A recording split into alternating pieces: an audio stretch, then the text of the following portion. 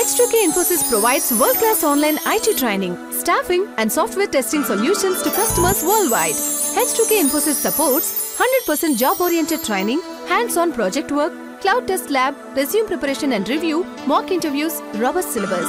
One-time pay, lifetime access to live classes and videos. H2K Infosys has won the trust of thousands of students worldwide. For free demo class, visit h2kinfosys.com. Okay, welcome. Welcome, people. Welcome. So, this is an interview preparation class. This is a so every week uh, we take up a module and we discuss all possible questions that can be asked on it. So, this week, people, the module is MS Visio. We'll see what are the possible questions that could be asked in MS Visio. Okay, fine, fine. And people also, the first five minutes will be the same for each and every mock session.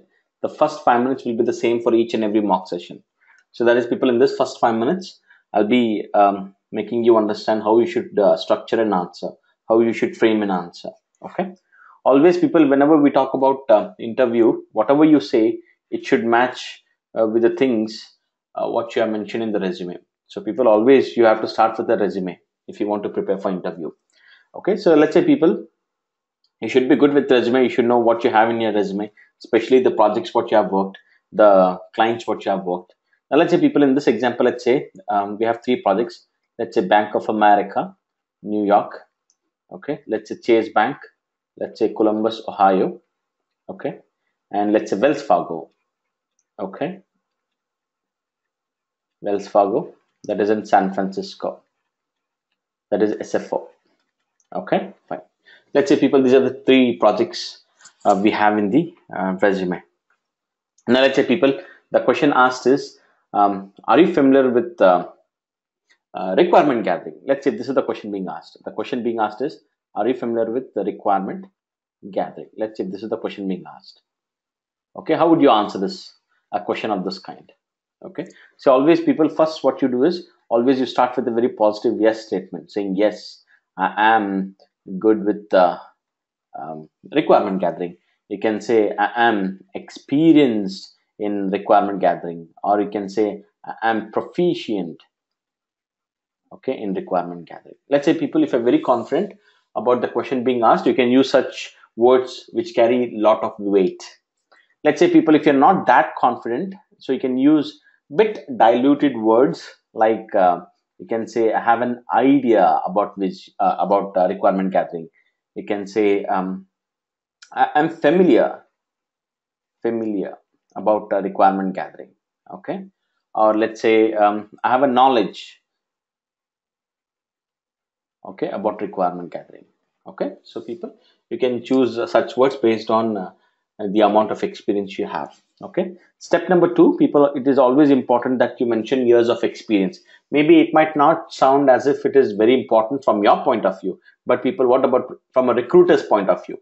Always a recruiter is very curious to know the number of years of exp uh, experience you have on the particular question being asked. Okay so people let's say if you're very confident you can say i have two years or three years of experience. Okay three years or two years of uh, work experience.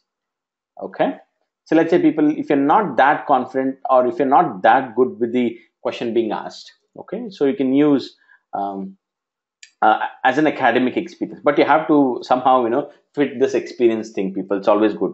So you can say i have one year of academic experience. Means you know you say that you know in, in my school I, I, I we did a project and in that project i used this something like that. Okay? Academic. One year of academic experience. Okay? Step number three people uh, talk about it. Okay? Or if you know the definition good we can give the definition. So for example in this case we can say um, that um, visio uh, sorry uh, requirement gathering. So we have different techniques. Like we have interview method like we have uh, web exploring method we have existing documentation method we have uh, chat session we have questionnaire method etc you can just talk about it. Step number four very importantly people you have to relate. So that is you have to kind of give an idea how you used this in different different projects what you have worked so as part of that we can say i've used chat session to do requirement gathering in the project uh, with bank of america. So i can say um, i've used interview technique. Okay? In the project with chase. Also i can say in um, um, wells fargo i used web exploring. See? See this is how you should be framing your answers. Okay. So people i'll give you three minutes. I want you to take this down. People three minutes.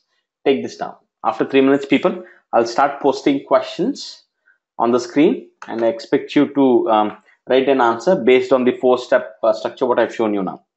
So people here comes question number one for the day. So the question is so that is people this week we'll be discussing about possible questions that could be asked based on visio so question number one is do you know ms visio people now these are the projects what you have to assume.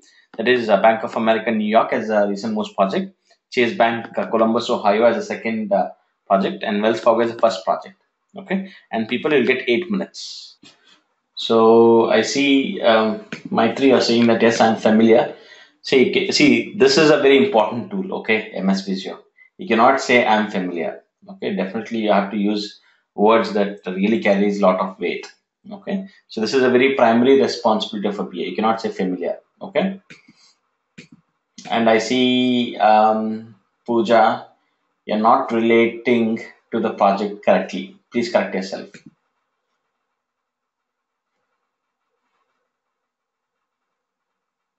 Okay, Swati. Um, yeah. So I see most of you, um, you're not being correct in relating. Okay, so people always understand. So for every project, try to give a different story. So for example, um, for Chase Bank, you say, I did, I used MS Visio to make use case diagram. For uh, Bank of America, say I did uh, use Visio to make markup. So let's say in case of Wells Fargo, so you can say I used Visio to make activity diagram. See, try to create a different story for a different project. Okay. So let's move on to the next question, people. Okay, again, this is also um, relevant to uh, um, this one, or to say um. So people, the question is, are you familiar with UML? That's the question, people. Are you familiar with UML? That's the question, and you have eight minutes this. People, again, I will have my timer on. Okay, people, you can really um, get best use of this topic, that is today's topic, only when you are prepared. People always have to come prepared. So next week, people, I'll be will be discussing about questions that could be possibly asked on documentation next week. Okay next week thursday. Okay so come prepared. Anyways people for now the question is are you familiar with uml and you'll get eight minutes. Again the assumption of the project will be the same. So people let me show you the answer. Uh, make note of this people. This should be the answer people. This should be the answer uh, yeah this time most of your answers are correct. Yeah. Anyways people this is my kind of an answer. People i don't it doesn't mean that your answer is wrong. Okay just in case if you have any confusion you can just make note of it. Kindly take this down people.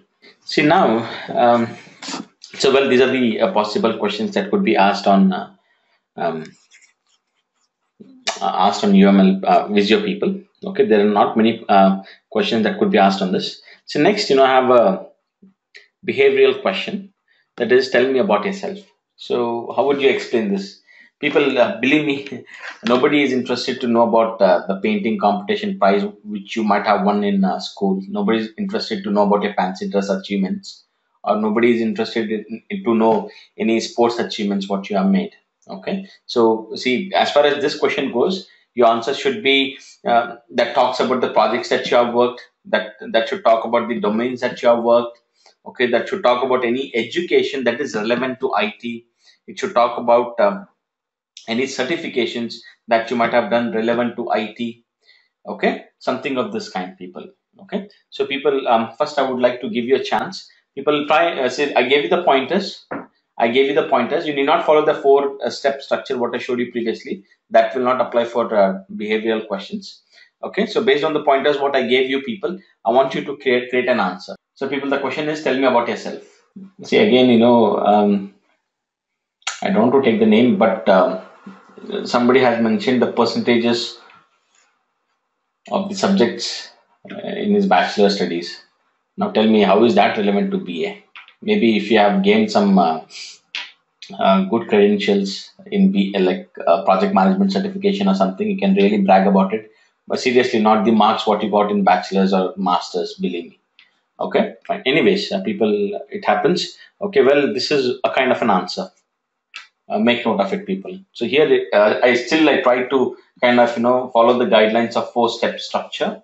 Okay still i try to follow. Okay so people it's always nice if you have a structure okay your answer will be structured isn't it? Okay. So people this is the, uh, a nice way to say um, for the question what i showed you previously. People take this down. People you have two minutes and you can leave the class. I have a next session coming up on the same webinar. And people like i told you um, next week we'll be discussing about the questions uh, pertaining to documentation